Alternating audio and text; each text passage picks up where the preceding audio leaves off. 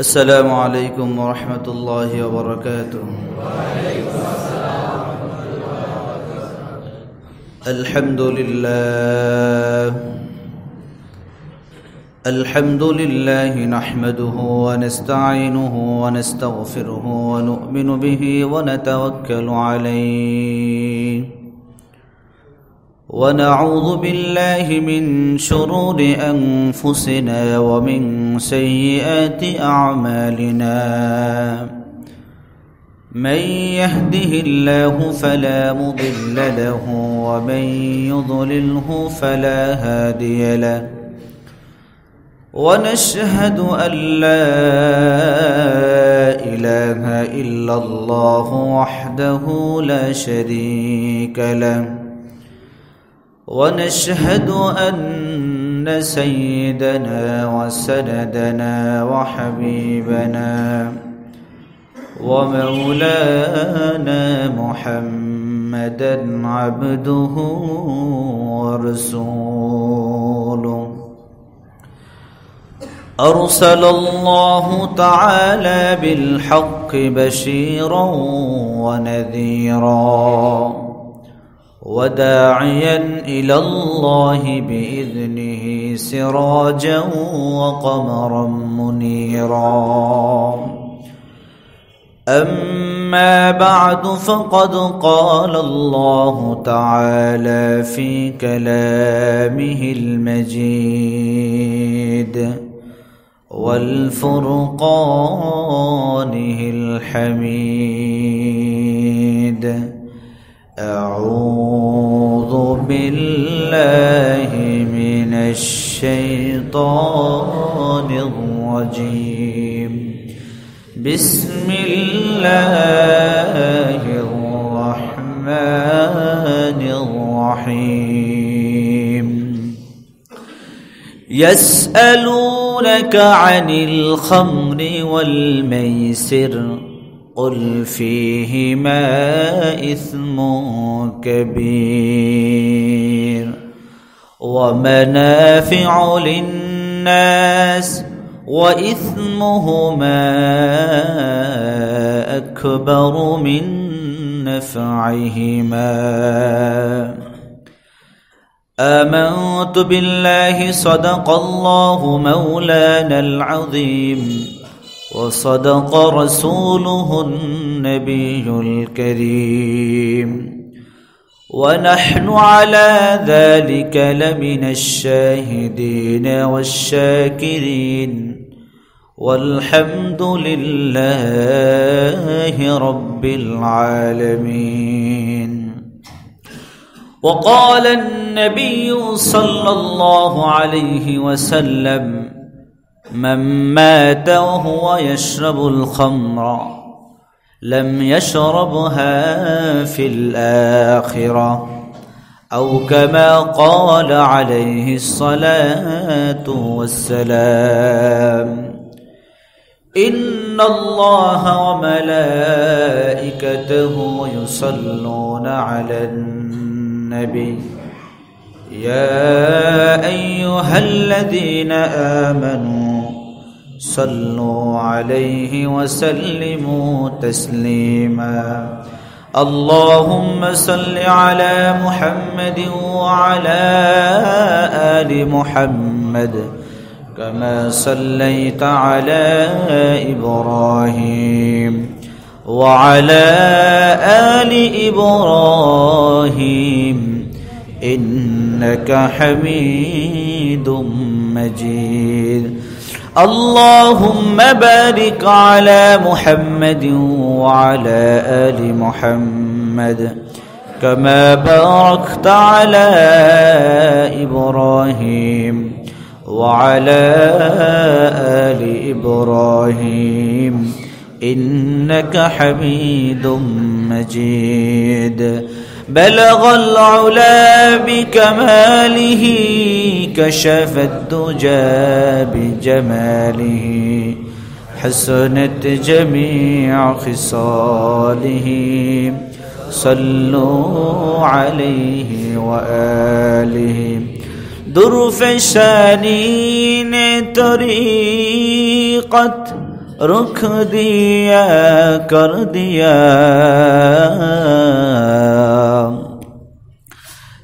الخلق روشن کر دیا خبین بلغ العلابی کمانه كشف الدجى بجماله حسنت جميع خصاله صلوا عليه وآله لا إله إلا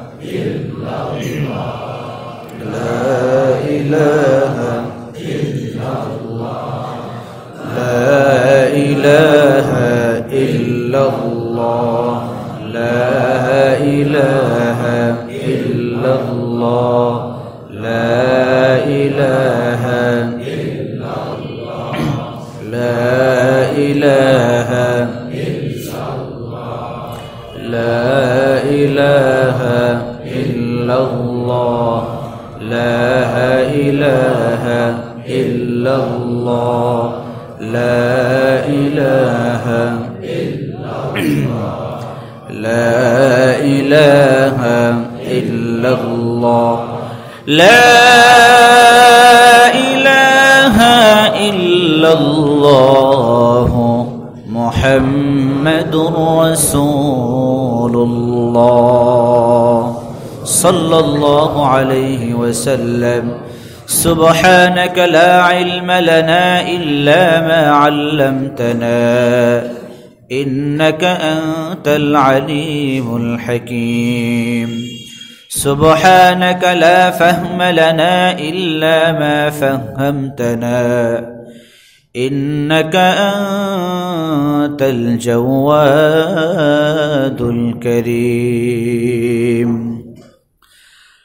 আলহামদুলিল্লাহ মুআজ মোহতারম, ওয়াজিবুল ইহতারম, সম্মানিত মুসল্লিন ইকরম, দিন প্রিয় ইসলাম, প্রিয় দিনদার, ইমানদার, মুমিন, মুসলমান ভাইয়েরা, বুড়া বাবারা, প্রাণ প্রিয় যুবক ভাইয়েরা, ছোট ছোট ভাইরা মাইকের আওয়াজ যত দূর পর্যন্ত যাচ্ছে, বাড়িতে অবস্থানরতা, শ্রবণরতা, মায়ের তুল্য, বোনের তুল্য সম্মানিতা মহিলারা মহান আল্লাহ সুবাহ দরবারে অসংখ্য অগ্নিত শুক্রিয়া জ্ঞাপন করছি যে আল্লাহ জাল্লা জালালু আম্মা নওয়ালহু আমাদেরকে দুনিয়ার সকল প্রকার ফিতনা ফাসাদ থেকে ফারেক রেখে আল্লাহ সুবাহ আমাদেরকে দুনিয়ার সকল প্রকার সাংসারিক ঝামেলা থেকে মুক্ত রেখে সকল প্রকার পাপাচার থেকে আমাদেরকে হেফাজতে রেখে আল্লাহ পাক তার মহান হুকুম জুমার নামাজ আদায়ের লক্ষ্যে পৃথিবীর সবচাইতে শ্রেষ্ঠ জায়গা মসজিদে আমাদেরকে আসবার, বসবার মতো তৌফিক দান করেছেন। এই জন্য মালিকের দরবারে শুক্রিয়া আদায়ার্থে অন্তরের গভীর প্রকষ্ট থেকে সউচ্চ আওয়াজে জবান ছেড়ে মোহাব্বতে পড়ি, আলহামদুলিল্লাহ। লক্ষ কোটি দুরুদ সালাম পাঠ করছি বিশ্ব মানবতার মুক্তির দিশারি, বিশ্ববাসীর রহমতের কান্ডারি হজরত মোহাম্মদ রসুল্লাহ সাল্লাহ আলহি ওয়াসাল্লামের উপর, তার পরিবার, পরিজন, সমস্ত সাহাবাই কারামের উপর। পাশাপাশি ওই সমস্ত মানুষ যারা আল্লাহ পাকের এই জমিনে, আল্লাহ পাকের দিনের ঝান্ডাকে পৃথিবীর আনাচে কানাচে পৌঁছে দেওয়ার লক্ষ্যে, ইসলাম নামক বৃক্ষের নিচে যেই সমস্ত মনীষীরা তাদের জীবনের তাজা রক্ত ঢেলে দিয়ে ইসলাম নামক বৃক্ষকে যারা তাজা করেছে, ওই সমস্ত মনীষীদের। মোহতারাম হায়াজিরিন, আমি আপনাদের সম্মুখে পবিত্র কোরআনে হাকিমের সর্ববৃহত্তম সৌরা, সৌরায় আল বাকারাহ দুই নম্বর পারা, তেরো নম্বর পৃষ্ঠা, বারো এবং তেরো নম্বর লাইনের একশো দুইশত উনিশ নং আয়াতে কারিমা তালাবাদ করেছি। এই আয়াতের সমর্থনে মুসলিম শরীফের একটি হাদিস আপনাদের সম্মুখে পাঠ করেছি। উল্লেখিত আয়াতে কারিমা এবং হাদিস শরীফ থেকে আপনাদের সম্মুখে কিছু দিনই নসিহাত করার জন্য প্রয়াস চালাবো। ওমা তৌফিক ইল্লা বিল্লা আল্লাহ আমার জবান থেকে উপকারী উপকারী সহি কিছু কথা বলা। আপনাদের সকলকে বুঝা। এর উপরে আমাদের সকলকে আমল করার তৌফিক দান করেন। সকলে বলি আমিন। তার পূর্বে একটি হাদিস আমার খুব বেশি মনে পড়ে গেল। আগে এই হাদিসটি একটু আলোচনা করে নি। হাদিসটি বুখারি, মুসলিম শরীফের মধ্যে এসেছে। রসুল করিম সাল্লাহ আলহি ওসাল্লাম বলেন দা কত আমাল ইমান আমরা এখানে যারা উপস্থিত আছি, বসা আছি, আমরা যে ইমানদার এটার মধ্যে কোনো সন্দেহ আছে? বলেন, সন্দেহ আছে? কোনো সন্দেহ নাই। আমরা যারা এখানে আছি, যারা নামাজে আসবে, সকলেই মানুষের মধ্যে ইমান আছে। তো ইমানদার হইলেই যে ইমানের পূর্ণাঙ্গ স্বাদ পাওয়া যায় এমনটি নয়। একটা মানুষ যখন নাকি তার সামনে যখন সুস্বাদু খাবার তৈরি হয়, ঘ্রাণযুক্ত খাবার যখন তার তৈরি হয়, যখন সে সামনে সামনে যায় যখন ঘ্রাণ বের হতে থাকে, ওই ব্যক্তি না খেলেও কিন্তু কিছু না কিছু ঘ্রাণ সে ব্যক্তি পেয়ে যায়। যায় না? যায়। আর যে ব্যক্তি শুধুমাত্র ঘ্রাণ নিয়ে ক্ষান্ত হন নাই, বরঞ্চ ওই ব্যক্তি ওই খাবারের পূর্ণাঙ্গ তৃপ্তি সহকারে খাবার খেয়েছে। তাহলে ঘ্রাণ নেওয়া ব্যক্তির স্বাদ অনুভব করা এবং যেই ব্যক্তি ভরপুর আকারে খেয়েছে, সেই ব্যক্তির স্বাদ গ্রহণ করা কি একরকম? ভিন্নতা আছে না? আছে। ঠিক তদ্রুপ ভাবে ইমান হলো একটি জিনিস, আল্লাহ পাখের পক্ষ থেকে একটি নিয়ামত। আমরা সারা জীবন শুনেছি ইসলাম ইসলাম ইসলাম, দিন। এগুলি আমরা সারা জীবন শুনেছি ইমান এগুলি শুনেছি। বেধর্মীরাও জানে ইসলাম যে কি জিনিস। ইসলাম, তারাও বুঝে। যে ইসলাম হলো আল্লাহ পাকের কাছে একমাত্র মনোনীত ধর্ম। কি? বলেন কি? ইসলাম। ইসলাম হলো আল্লাহ পাকের কাছে একমাত্র মনোনীত ধর্ম কি? ইসলাম। এটা আল্লাহ পাকের কাছে। কারণ কোরআন হাকিমের আয়াত, তো সারা জীবন তারা শুনেছে ইসলাম ইসলাম ইসলাম। ইসলামের রীতিনীতি কি? এটা তারা জানে না। তারা পালনও করে না কেন? যে তারা মুসলিম নয়, তারা ইমানদার নয়। তো ইসলামকে যারা শুনে শুনে দেখেছে যারা ইসলামের কথা শুনেছে কিন্তু ইসলামের মধ্যে প্রবেশ করে নাই ইমান আনে নাই। আর যেই ব্যক্তিগুলা ইমান এনেছে আল্লাহ পাককে সাক্ষ্য দিয়েছে রব হিসেবে মেনে নিয়েছে আল্লাহ পাকের এবাদত বন্দেগী পূর্ণাঙ্গভাবে আদায় করে। এই ব্যক্তির ইসলাম সম্পর্কে স্বাদ নেওয়া আর যেই ব্যক্তি জানে তার স্বাদ নেওয়া কি এক? এক হবে না। তো এই হাদিসের মধ্যে রসুল করিম সাল্লাহ আলহি ওয়াসাল্লাম বলেন আবার ইমানদারদের মধ্যে কিছু কিছু পার্থক্য রয়েছে। পার্থক্যগুলা কি? পার্থক্যগুলা হলো যে কিছু ইমানদার ব্যক্তি আছে, তারা সাপ্তাহিক ইমানদার। মানে সপ্তাহে একদিন নামাজ পড়তে আসে। তার ইমান যে সাপ যে অনুভব হওয়া, তার একরকম সপ্তাহে জুমার নামাজ পড়তে আসা। আর কিছু আল্লাহ পাকের প্রিয় বান্দা বান্দি আছে, যারা পাঁচ অক্ত নামাজ পড়ে। এই দুইয়ের মধ্যে কি পার্থক্য আছে কি নাই? আছে। এই দুইয়ের মধ্যে পার্থক্য আছে ইমানের স্বাদ কারা পেয়েছে ইসলামের স্বাদ কারা পেয়েছে তাদের সম্পর্কে রসুল করিম সাল্লাহ আলহি ওয়াসাল্লাম বলেন ইমান ইমানের স্বাদ ওই সমস্ত মানুষরা পেয়ে গিয়েছে ইমানের স্বাদ তারা ভোগ্যন করেছে তারা অনুভব করবে তারা কারা যারা বলবে من رضي بالله ربا وبالإسلام دينا وبمحمد صلى الله عليه وسلم نبيا ورسولا যারা ইসলাম ধর্ম গ্রহণ করার পরে একমাত্র আল্লাহকে রব হিসেবে মেনে নিয়েছে একমাত্র আল্লাহকে সৃষ্টিকারী লালনকারী পালন কর্তা হিসেবে যারা স্বীকার করে নিয়েছে যারা আল্লাহকে রব হিসেবে পেয়ে যারা সন্তুষ্ট ওয়াবিল ইসলামী দিনা এবং তার কাছে আল্লাহ পাকের মনোনীত যে ধর্ম ইসলাম, এই ইসলামের ভিতরে দাখিল হওয়ার কারণে ইসলামের অনুকরণ, অনুসরণ মানার মধ্যে সে সন্তুষ্ট হয়েছে। ইসলামের মধ্যে আল্লাহ পাক যতগুলি বিধি নিষেধ দিয়েছে, এই বিধি নিষেধগুলো সেই ব্যক্তি মেনে নিয়ে, সেই ব্যক্তি সন্তুষ্ট হয়েছে। মুহাম্মদ সাল্লাল্লাহু আলাইহি ওয়াসাল্লাম নবিয়্যাও ওয়া রাসূলা। এবং আমাদের নবী, শ্রেষ্ঠ নবী, আখারি নবী মোহাম্মদুর রসুল্লাহ সাল্লাল্লাহু আলাইহি ওয়াসাল্লামকে শেষ নবী হিসেবে পেয়ে যারা সন্তুষ্ট হয়েছে, এই তিনটা জিনিস যারা আল্লাহকে রব হিসেবে পেয়ে সন্তুষ্ট। ইসলাম ধর্মকে দিন হিসেবে পেয়ে তারা সন্তুষ্ট। নবী মোহাম্মদুর রসুল্লাহ সাল্লাল্লাহু আলাইহি ওয়াসাল্লামকে নবী হিসেবে পেয়ে যারা সন্তুষ্ট। আল্লাহর রসুল বলেন, তারা একমাত্র দিনের ইমানের যেই স্বাদ ইমানের যেই পাওয়ার, এটা একমাত্র তারাই অনুভব করেছে। কারা পেয়েছে? এই তিনটা জিনিস পেয়ে যারা সন্তুষ্ট। আমরা এখানে যারা বসা আছি আমরা কি এই তিনটা জিনিস পেয়ে কি সন্তুষ্ট হয়েছি? কথা কই না। সন্তুষ্ট? সন্তুষ্ট। কিন্তু সকলেই সন্তুষ্ট না। কীভাবে সকলেই সন্তুষ্ট না? তার প্রমাণ আমরা দু একদিন পূর্বেই পেয়ে গিয়েছিলাম। কারণ ইসলাম নামক জিনিসের মধ্যে আমি যদি আল্লাহ পাককে রব হিসাবে পেয়ে সন্তুষ্ট হয়ে যাই, তাহলে আল্লাহ পাকের বিধান মানতে আমি বাধ্য। আমি যদি ইসলামকে ধর্ম হিসাবে পেয়ে যদি সন্তুষ্ট হয়ে যাই, তাহলে ইসলামের মধ্যে যা কিছু আছে তার বাহিরে আমার যাওয়ার কোনো সুযোগ নাই। আমি ঠিক তদ্রূপ ভাবে যদি আল্লাহ রসুলকে আমি, মোহাম্মদুর রসুল্লাহকে যদি আমি নবী পেয়ে যদি আমি সন্তুষ্ট হয়ে থাকি তাহলে আল্লাহর রসুলের আদর্শের বাহিরে যাওয়ার অনুমতি আমার নাই। আছে? কিন্তু সমাজের মধ্যে ইমানদার দাবি করেন।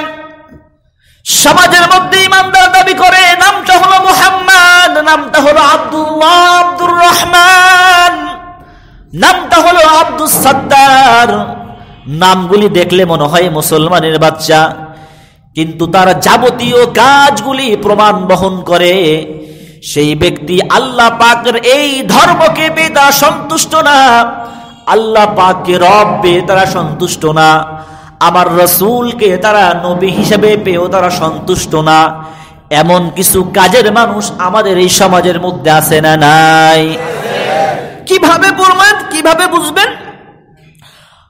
গত একত্রিশ তারিখ রাত্রবেলা আমি ঘুমিয়ে রয়েছি। হঠাৎ করে লাভ দিয়ে উঠছি। লাভ দিয়ে উঠছি কি রে? চতুর্দিক মনে হলো বোম ফুটাইতেছে। বোমের আওয়াজ আতসবাজির আওয়াজ এটা এই সমাজে হয়েছে না? হয়েছে আমাদের আশপাশেও তো হয়েছে এইগুলা মনে হয় নারায়ণগঞ্জ থেকে হিন্দুরা এসে করছে এটা। হ্যাঁ? কারা করছে এটা? মুসলমানের বাচ্চা করছে। কার বাচ্চা করছে এগুলা? মুসলমানের সন্তানেরা করছে। একটু গভীর ভাবে বুঝতে হবে। এই যে থার্টি ফার্স্ট নাইট যারা উদযাপন করল এটা কি ইসলাম ধর্মের মধ্যে আছে? আছে? আল্লাহ পাকের যদি আমি, আল্লাহ পাককে রব হিসেবে যদি আমি সন্তুষ্ট হই, তাহলে আল্লাহ পাকের বিধানের মধ্যে আছে, আমি নবী মোহাম্মদ রসুল্লাহ সাল্লাহ আলাই ওয়াসাল্লামকে পেয়ে যদি আমি সন্তুষ্ট হয়ে থাকি, নবী হিসাবে পেয়ে তার উন্মত হয়ে, তাহলে আমার আপনার রসুলের আদর্শ এই জীবনের মধ্যে কি থার্টি ফার্স্ট নাইট আছে? তাহলে যারা পালন করল তারা? তারা কি ইমানের স্বাদ পেয়েছে না পাই নাই? পাই নাই। ইমানের স্বাদ তারা পাই নাই। বোঝা গেল তারা আল্লাহ পাককে পেয়ে তারা সন্তুষ্ট না। ইসলাম ধর্মের মধ্যে যেগুলি আছে এগুলি পেয়ে তারা সন্তুষ্ট না। সন্তুষ্ট হয় নাই। এই জন্য ভিন্ন ধর্মের ভিন্ন ধর্মের অনুষ্ঠানকে, উৎসবকে তারা নিজেদের ধর্ম হিসেবে পালন করতেছে। এরকম ধরনের মুসলমান আমার বুঝে আসে না। তোমার যদি পালন করতে না চায়, ভালো না লাগে, তাহলে তোমার কাছে আমার মনে হচ্ছে তোমার এই উৎসব দেখে, যুবক ভাইয়ের তোমার এই চুলের কাঠিন দেখে আমার মাঝে মধ্যে মনে হয় যে আমাদের ইসলাম ধর্ম মনে হয় অপূর্ণাঙ্গ, পূর্ণাঙ্গ ধর্ম না। বিষয়টা কি এমন? কারণ আমার রসুল মোহাম্মদ রসুল্লাহাম আজ থেকে সাড়ে চোদ্দশো বছর পূর্বে একজন মুসলমানের বাচ্চা তার চুলের কাটিন কি হবে এটা বলে গিয়েছেন না? দেখিয়ে দিয়ে গিয়েছেন না? তাহলে আমাদের যে যুব সমাজ, আমাদের যে যুবক ভাইয়েরা, যেই স্টাইলে চুল কাটে, এটা কি রাসুলের আদর্শের চুল এটা? বলেন, এটা আসলে আদর্শ চুল? তাহলে আমার তো তাই মনে হচ্ছে যে তাদের কাছে আমার, তাদের পোশাক আশাক, তাদের ধর্মীয় রীতিনীতি, তাদের উৎসব, তাদের আনন্দ উল্লাস, এগুলি দেখে মাঝে মধ্যে মনে হয় যে এই সমস্ত মানুষ মনে হয় ইসলাম ধর্ম পেয়ে সন্তুষ্ট না। কেন সন্তুষ্ট না? কারণ ইসলাম ধর্মের মধ্যে তো বান্দরের মতো চুল কাটার কোনো বিধান নাই। আছে? ইসলাম ধর্মের মধ্যে তো বিবাহ সাদীর মধ্যে ঢোল, টপলা আর নিত্য প্রয়োজনীয় জিনিস বাজানোর জায়েজ নাই। আছে? ইসলাম ধর্মের মধ্যে বাৎসরিক থার্টি ফার্স্ট নাইট ইংরেজি নববর্ষ পালন করা বৈধ নয়। আছে? তাহলে যারা পালন করছে, তাদের কাছে আমার মনে হয় তারা এত বেশি বুঝে, তাদের জ্ঞানটা এত প্রখর তাদের জ্ঞান এত বেশি যে এটার কারণে তারা তাদের কাছে এটা মনে হয় যে ইসলাম পূর্ণাঙ্গ ধর্ম না অথচ আপনাদের কি মনে হয় ইসলাম কি পূর্ণাঙ্গ ধর্ম অপূর্ণাঙ্গ ধর্ম কোরআনে কারিম সে কথা বলছে ما فرطنا في الكتاب من شيء ثم إلى ربهم يحشرون ما فرطنا في الكتاب من شيء ও নবী আমি আপনাকে এমন একটি কিতাব দিয়েছি, এমন একটি ধর্ম ব্যবস্থা আমি আপনাকে দিয়েছি, এমন একটি জীবন ব্যবস্থা আমি আপনাকে দিয়েছি। সেটার মধ্যে এমন কোন বিষয়বস্তু নাই যেটা তার মধ্যে নাই, কোরআনে কারিমের মধ্যে নাই। তাহলে কোরআনে কারিমের মধ্যে তো এটা নাই যে বৎসরের দিন আমাদেরকে এটা পালন করতে হবে। আছে নাকি? আবার বোম ফুটে আতসবাজি ফুটানো, এটা জায়জ আছে? যারা করল তারা মুসলমানের তো সন্তান নাকি? কাদের সন্তান? আমার আপনার ভাই, আমার আপনার সন্তান। এরা আমার আপনার থেকে উপার্জিত টাকা দিয়ে এগুলো করতেছে। কারণ একজন যুবক তার বয়স আঠারো বিশ বছর বয়স লেখাপড়া করে, সে টাকা পাইছে কোথায়? তার বাবা তাকে টাকা দিয়েছে। কি বলেন? তাহলে এগুলি যারা করল, এগুলি আমাদের ভাই করেছে, আমাদের সন্তানেরা করেছে। এটা সরকারি ভাবেও তো নিষিদ্ধ ছিল। আতসবাজি ফুটানো যাবে না। হই হুল্লা বেশি করা যাবে না।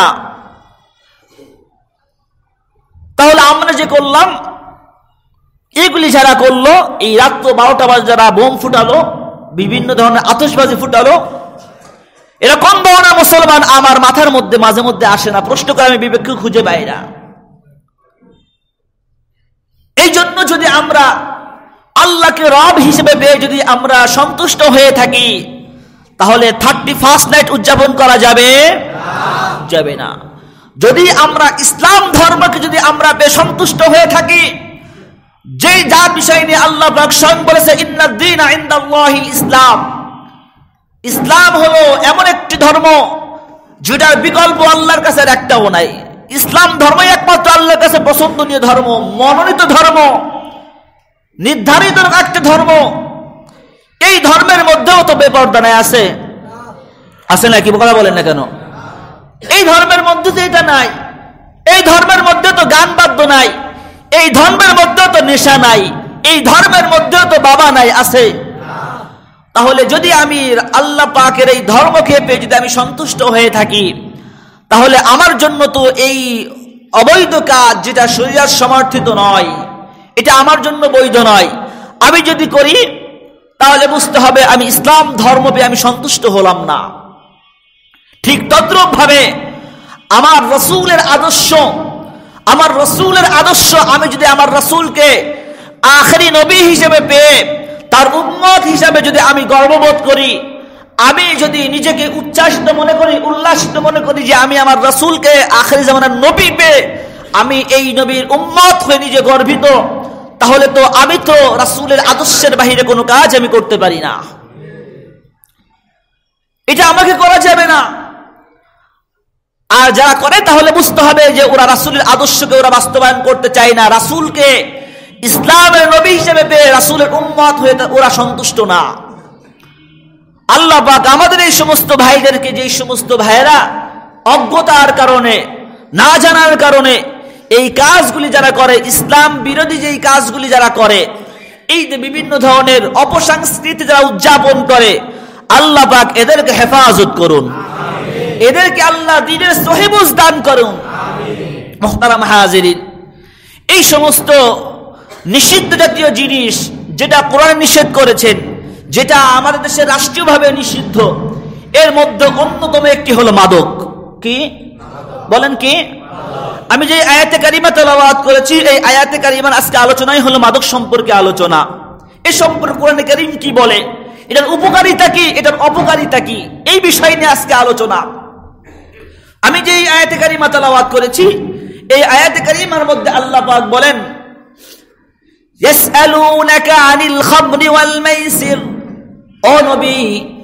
আপনার কাছে মানুষেরা জিজ্ঞাসা করে, প্রশ্ন করে মদ সম্পর্কে নিশা জাতীয় বস্তু সম্পর্কে এবং জুয়া সম্পর্কে। এই দুইটা জিনিস কি আমাদের সমাজে আছে? জুয়া আছে নাকি এই সমাজে? হ্যাঁ? আল্লাহ আকবর আল্লাহ আকবর। জুয়া আমাদের সমাজের মধ্যে আছে। দাবা আছে নাকি আমাদের সমাজের মধ্যে? দাবা দাবা আছে। লটারি আছে আমাদের সমাজের মধ্যে? এটাও আছে। এটা কি বৈধ কাজ না অবৈধ কাজ? শরিয়াতে এটা সম্পূর্ণ অবৈধ। জুয়াটা সরকারিভাবে অবৈধ, ইসলামের মধ্যে অবৈধ। কিন্তু এই আয়াতে কারিমা একটা প্রমাণ দিচ্ছে। আনিল আপনার কাছে তো মানুষ জিজ্ঞাসা করে, মদ এবং জুয়া সম্পর্কে। কুলফি হিমা ইসমুন কবির। আপনি নবী তাদেরকে বলে দেন ফি হিমা ইসমুন কবির। এই দুইটি কাজ হলো অনেক বড় গুণা, অনেক বড় গুণা। কত বড় গুণা বুঝবেন? কত বড় গুণা শুনেন। ইসলামের তৃতীয় খলিফার নাম কি? তৃতীয় খলিফা তৃতীয় খলিফা। হযরত ওসমান ইবনে আফরান রাদিয়াল্লাহু আনহু।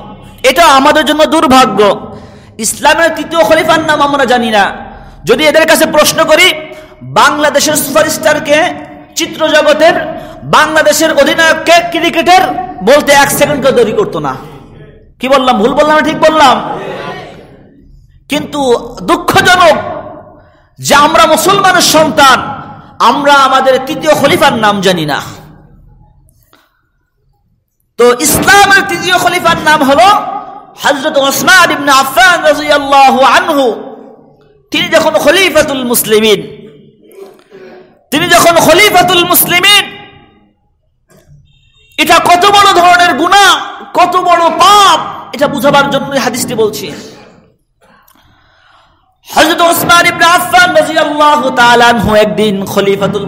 থাকা অবস্থায় মেম্বারে জুমার মধ্যে বয়ান করতেছেন, বয়ানের মধ্যে লোক সকল, ও লোক সকল তোমরা নিশাগ্রস্ত না, তোমরা পান করো না, তোমরা মদ পান করো না। কেন কেন মদ পান করবা না?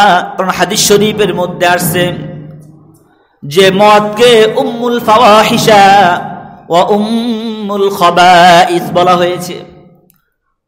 সবচেয়ে অশ্লীলতার মা বলা হয়েছে মদকে। গর্হিত কাজকে, কাজের মাঘ বলা হয়েছে এই মদকে, এই নিশাকে। তিনি বলেন, ও লোক সকল তোমরা নিজেদেরকে মদ থেকে হেফাজত করো, নিশা থেকে নিজেদেরকে বাঁচায় রাখো। কেন? কেন বাঁচায় রাখবাম? কেন এই নেশা হলো সমস্ত গুণাহের একটা মূল? মানুষ যদি অন্য অন্য গুণা না করে, যদি এই গুণাটা মানুষের মধ্যে থেকে যায়, তাহলে তার দ্বারা কত গুনাহের কাজ হয়ে যায়? বুঝবার জন্য তিনি বলতেছেন, পূর্বের জামানার এক নবীর এক উম্মত ছিল যে উম্মতটা পাঁচক্ত নামাজি ছিল। যে উম্মারটা সর্বক্ষণ যে আবেদটা সার্বক্ষণিক মসজিদের মধ্যে থাকতো, বাহিরে যেত না। কিন্তু ঘটনাক্রমে একদিন মসজিদ থেকে বের হয়ে রাস্তা দিয়ে হাঁটতেছেন, একটা প্রয়োজনে তিনি যাইতেছেন। এমন সময় ওই এলাকার মধ্যে একটা ভ্রষ্ট, একটা নারী, একটা পতিতা, একটা নারীর নজরটা ওই আলেমের উপরে পড়ল, আবেদের উপরে পড়ল। ওই পতিতা মহিলাটা ওই আল্লাহ পাকের আবেদকে দেখে আসক্ত হয়ে গেল।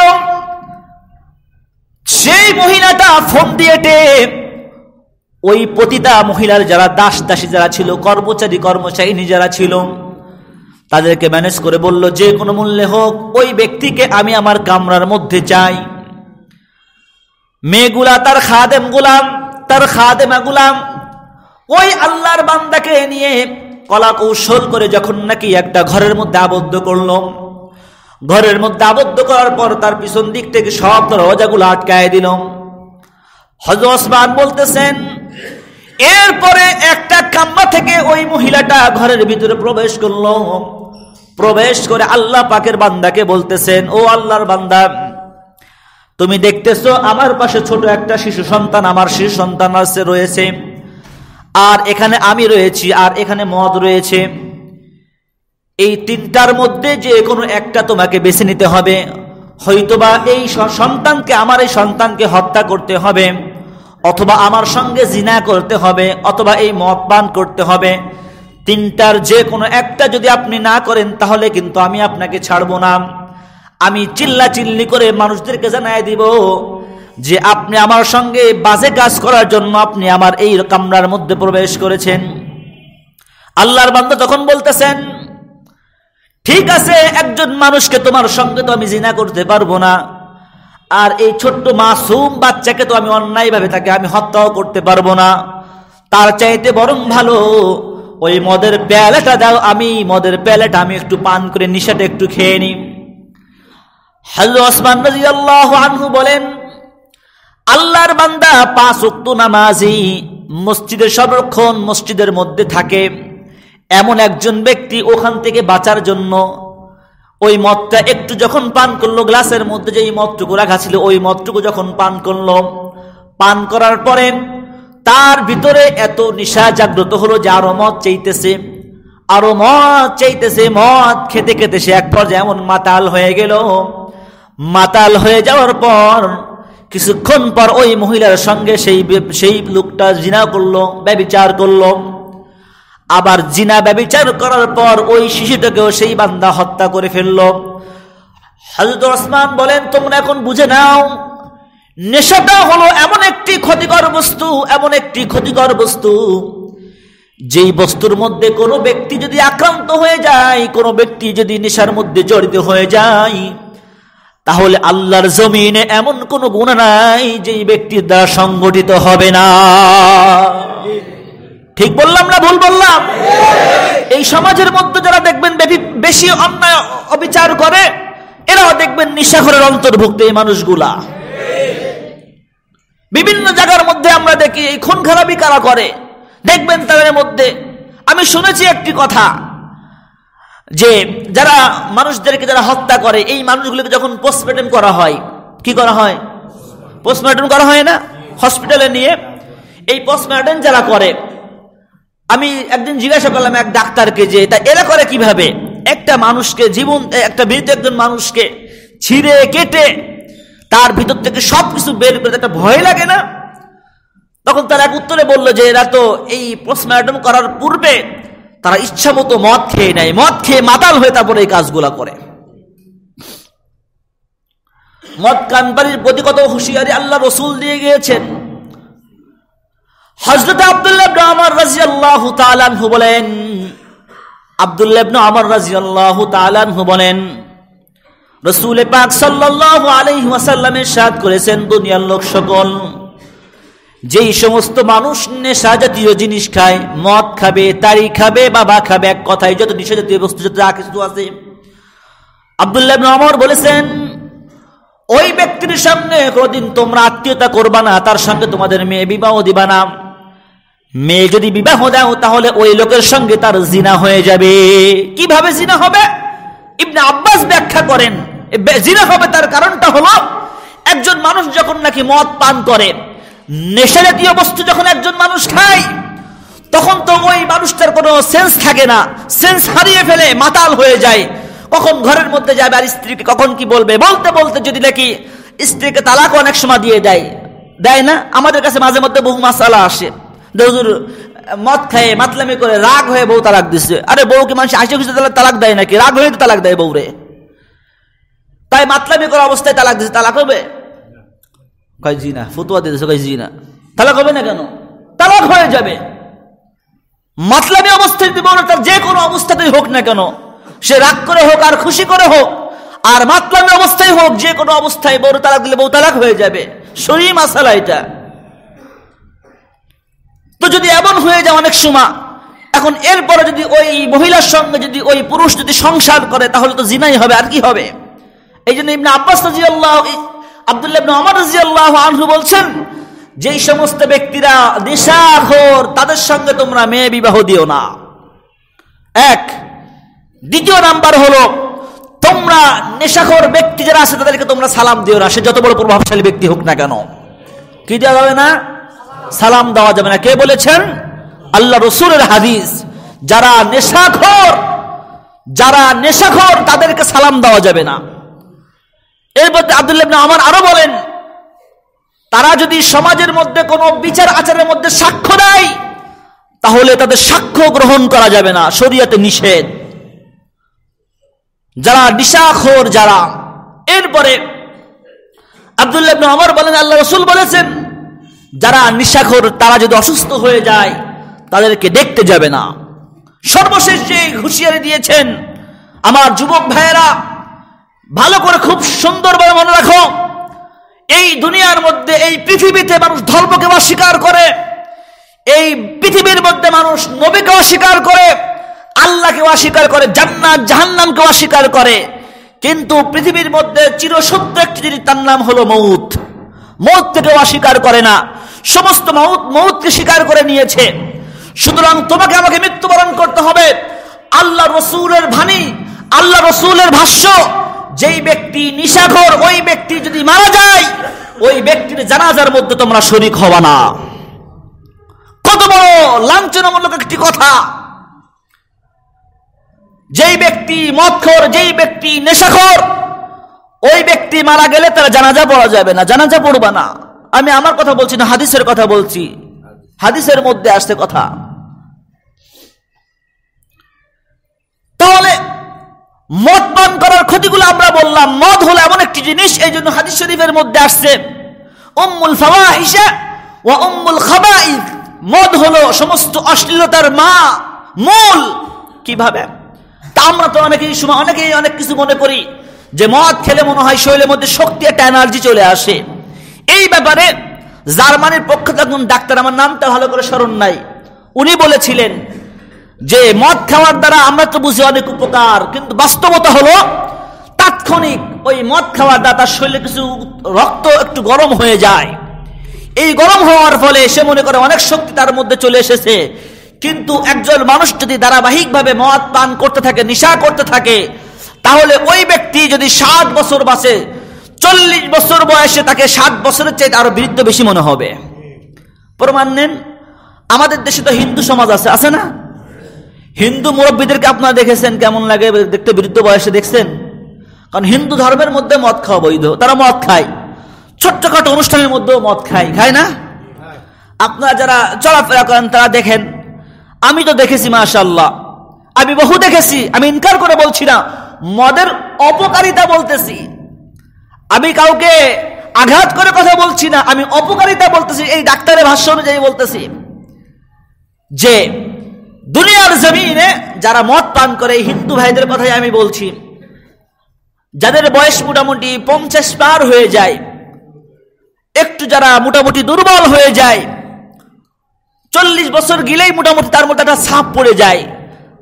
আর যখন একটু বয়স যখন একটু বেড়ে যায়, তখন আমি অনেক সময় এটা আমি ইনকার করে বলছি না, তখন আমি খেয়াল করে দেখছি ওই মানুষটার চেহারা বান্দরের চাইতে বেশি খারাপ হয়ে যায়। আমাদের সমাজের মধ্যে আপনার যদি তাকায় দেখেন, আমাদের মুসলিমদের মধ্যে তাকায় দেখেন, এই সমাজের মধ্যে, এই এলাকার মধ্যে, এই বাহিরে যদি আপনি একটু তাকায় দেখেন, যারা প্রসিদ্ধ, যারা মদখোর, যারা নিশাখোর, সে যে দলের নেতাই হোক না কেন তার চেহারার দিকে আপনি বাস্তবতা তাকায় দেখেন, আমি দেখছি কয়েকজনকে নির্ণয় করে মিলাইছি। সে বড় পাওয়ারফুল নেতা হতে পারে, কিন্তু তার চেহারা দেখলে মনে হয় আস্তে একটা শয়তান। আমি দেখেছি তো। এটা তার দোষের কথা বলছি না, মদের গুণাগুণ বলছি। কিন্তু আল্লাহ প্রাপ্ত বলছেন মদ হলো এমন একটি জিনিস, যেটার মধ্যে মানুষের অনেক কল্যাণ রয়েছে। জুয়া হলো এমন একটি জিনিস যেটার মধ্যে মানুষের কল্যাণ রয়েছে। তাহলে এই কথা কেন? এই কথার মধ্যে মুফাসির হজরতরা লিখেছেন, পূর্বেকার জামানার মধ্যে আরবের মানুষগুলা তারা সিরিয়া থেকে কম দাম দিয়ে অনেক মদ কিনে নিয়ে আসতো। মদ কিনে নিয়ে এসে ওই মদগুলো অনেক দামে তারা বিক্রি করতো, তাদের দুনিয়াবি ফায়দা হতো। এটা হলো এক। দ্বিতীয় নাম্বার হলো, মদ যখন প্রাথমিক অবস্থায় যখন খাওয়া হয়, তখন তার শরীরের চামড়ার মধ্যে গ্লাস মানে মানে না? সেটা সুন্দর লাগে দেখতে, প্রাথমিক অবস্থাতে। যখন প্রথম যখন খোর হয়, নেশা খায়, তখন তার চেহারাটা সুন্দর লাগে দেখতে। চেহারার মধ্যে আকর্ষণীয় ভাব চলে আসে। দেহের মধ্যে তার খুব শক্তি চলে আসে। এমন হয় না? তার কারণ আছে। তার কারণটা কি? যে মদ বানানো হয় যে জিনিস দ্বারা। এটা তো খুব আকর্ষণীয় জিনিস। এটা তো খুব ফলপ্রসূ জিনিস। কিতাবের মধ্যে এসেছে। এই জমিনের মধ্যে সর্বপ্রথম যে মদ পান করা হয়েছিল, মদ বানানো হয়েছে সেটা হলো আঙ্গুর দ্বারা। কি দ্বারা? কি দ্বারা বলেন? আঙ্গুর যখন একজন মানুষ যখন নিয়মিত আঙ্গুর খায়, তখন তার চেহারা সুন্দর হয় না?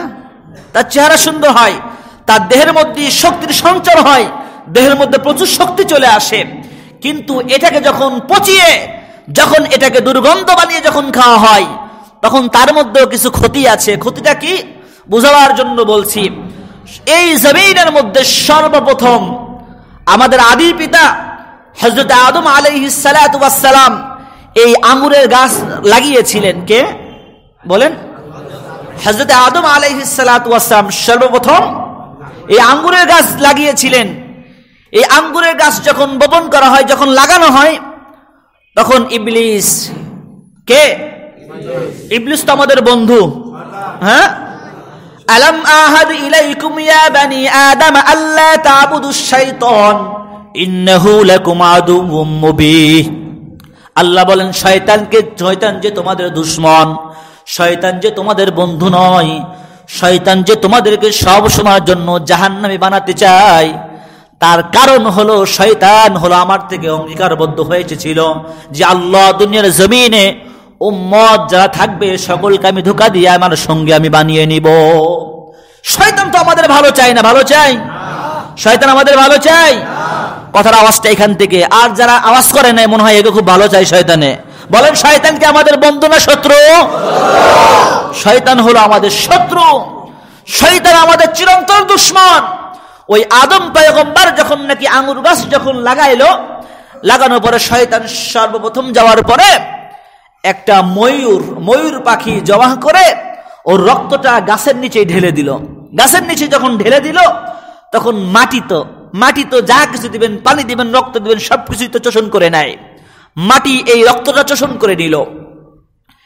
এরপরে গাছটা যখন একটু বড় হলো, যখন পাতা গজালো, যখন পাতা গজালো, তখন শয়তান কি করল? ওই গাছের নিচে একটা বানর জবাই করে ওটার মধ্যে রক্তটা ঢেলে দিল। মাটি ওটাও চোষণ করে নিল। এরপরে গাছটা যখন বড় হতে হতে হতে হতে যখন নাকি ওই গাছের মধ্যে যখন আঙ্গুর ধরা শুরু হলো, তখন শৈতান ওই একটা হিংস্র প্রাণ তথা বাঘ জবহ করে ওই বাঘের রক্তটা ওই আঙুর গাছের নিচের মধ্যে ঢেলে দিল।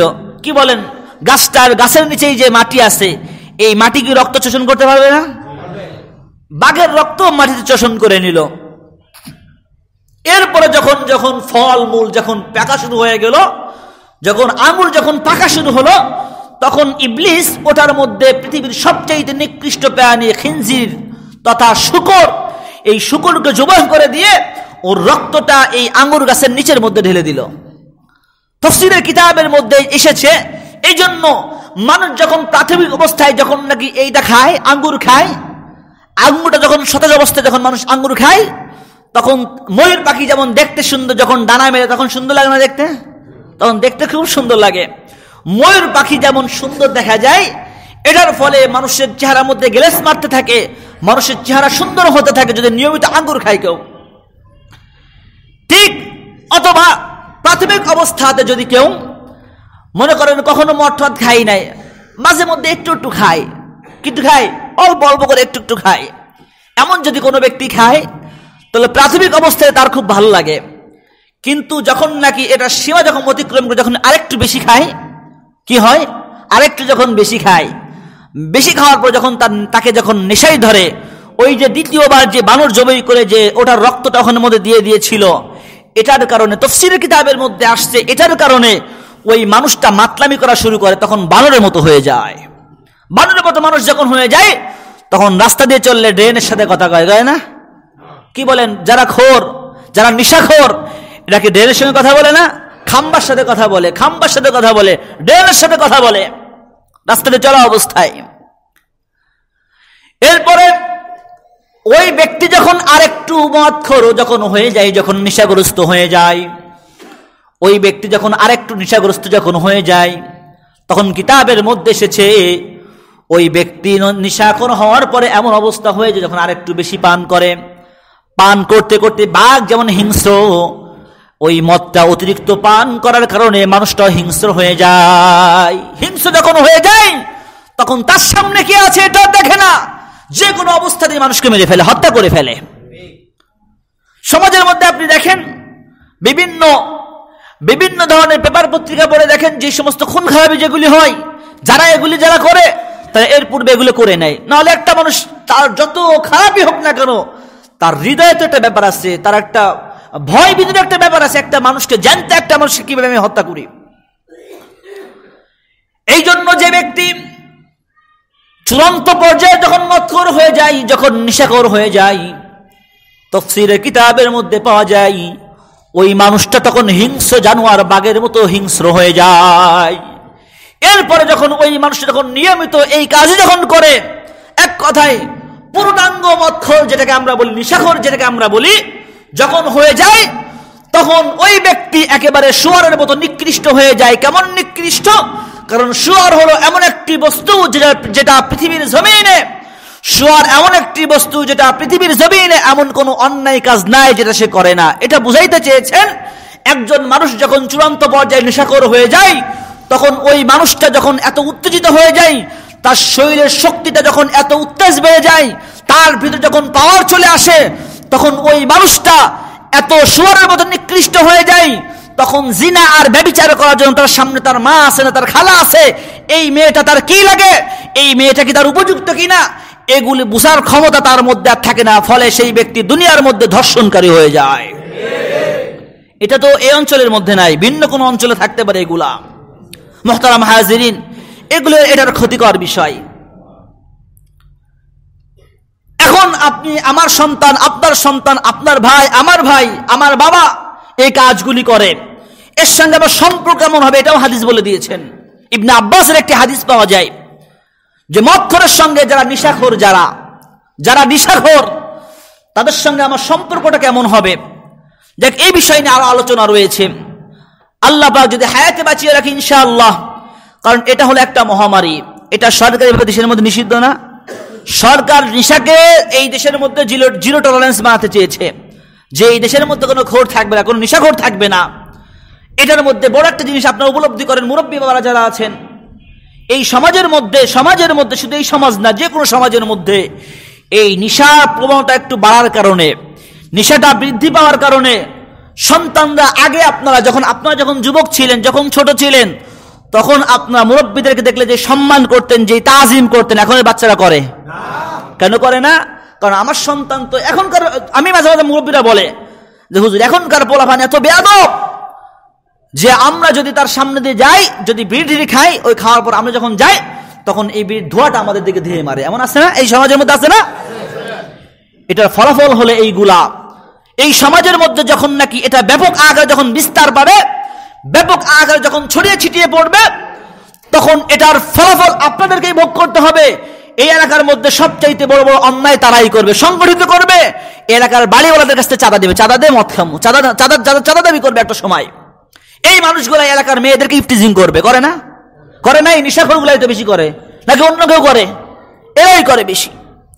এই সমাজের মধ্যে জিদা ব্যবচার তখন বৃদ্ধি পাবে। বিয়ের আগে যখন সন্তান জন্মগ্রহণ করবে এমন অবস্থা পরিবেশ তৈরি হবে। মুরব্বীদেরকে সম্মান তো দূরের কথা। মুরব্বীদেরকে দেখলে আর অসম্মান বেশি বেশি করে করে। এখনকার যুবক যুবকরা করে এটা। সকলেই না সকলেই না। আপনাদেরকে ভাবতে হবে। আপনার সন্তানের প্রতি খোঁজ খবর রাখতে হবে। এটা শুধু আপনার একার সমস্যা না, এটা পুরো সমাজের সমস্যা। এটা এটা পুরো দেশের সমস্যা। এই বিষয় নিয়ে আরেকটি হাদিস, ছোট্ট একটা কথা বলে শেষ করছে আলোচনা। যারা মৎখর সামনে আলোচনা লম্বা হবে। নিশাখর যারা, তাদের সম্পর্কে আল্লাহ রসুল হাদিসের মধ্যে বলেন, কেউ যদি এক ঢোক মদ খায়, কয় ঢোক? এক ঢোক, কেউ যদি, এক ঢোক যদি কেউ নেশা দিয়ে বস্তু পান করে আল্লাহ রসুল বলেন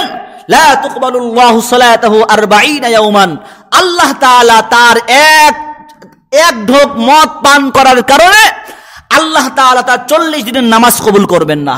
নওজুবিল্লাহ যারা বিড়ি সিগারেটের জেলা খান, এর থেকে ফারেগ হয়ে যান। বাকি আলোচনা আল্লাহ যদি চাহেন আগামী জমাতে হবে। আজকে যে আলোচনাগুলি করলাম, মদের অপকারিতা সম্পর্কে আল্লাহ পাক আমাদেরকে বুঝে এই যুব সমাজকে, আমাদের এই সোনার যুব সমাজকে, যুবক ভাইদেরকে আল্লাহ পাক এই মদের আগ্রাসন থেকে, মদের ক্ষতি থেকে, মদের এই নেশার সকল প্রকার অপপ্রচার থেকে, এই নেশার সমস্ত জাতীয় কাজ থেকে আল্লাহ পাক আমাদের এই এলাকার যুব সমাজকে হেফাজত করেন। সকলে বলি আমিন। আরও জোরে কর না আমিন ওয়া আখির দাওয়ানা আলহামদুলিল্লাহি রাব্বিল আলামিন যারা কবলা